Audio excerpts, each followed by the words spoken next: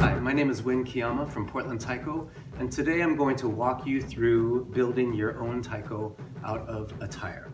You can get a tire from any of your local tire centers uh, here in the Pacific Northwest, Les Schwab. They'll be happy to give you a, a tire. It's one less tire that they have to recycle. And you can feel good about reusing these tires and then building um, a homemade taiko drum for practice. So first thing is once you get your tire, uh, the choice might be dependent on just what car tires they've changed that day. So I would recommend getting the smallest tire you can just because then it'll be easier to handle. And then clean it uh, with warm water and soap and if a, a brush if you have it. You'll probably want to give it 24 hours for it to dry completely. And if the tire has been used on gravel roads, then you might want to just take the time uh, to pick out the gravel with any kind of screwdriver, uh, whatever tool you have.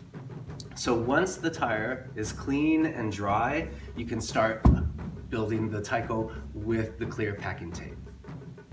Okay, so once we have our tire cleaned pull the clear packing tape across the tire in the center and then pull it taut as you're going.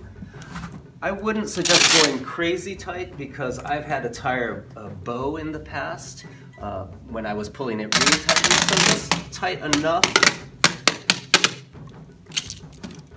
and then just start off doing a star pattern. And then from here, we're just going to fill it in. You'll want to overlap maybe like quarter of an inch or so, quarter of an inch right around here, uh, and then just continue the star pattern. So once you've done one layer, then the second layer, you could do a contrasting pattern. Again, overlapping around a quarter of an inch or so. I would do this all the way across. So this is our second layer, and then the third layer you can go this way. This will give you a nice, strong enough surface where you're hitting, uh, and it should feel much like a taiko drum. It's not gonna sound like a taiko drum, but after all, if you live in an apartment, uh, you probably don't wanna make a ton of noise, but at least it has the feeling of a taiko drum.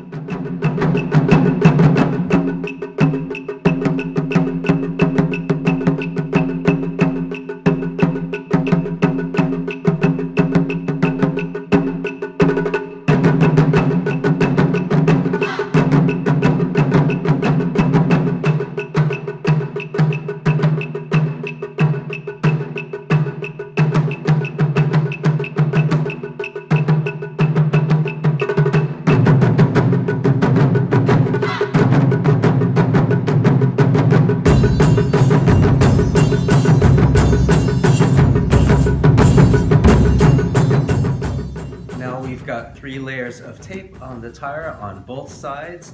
If you want, you can put duct tape around the edge, um, along the diameter. I've seen some people use colored tape and that looks really nice.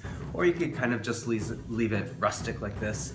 Uh, so it's all set to go. Uh, one thing about the tape, I use Scotch uh, brand tape and I found that that is the best uh, for uh, for taking the, the hits and not ripping.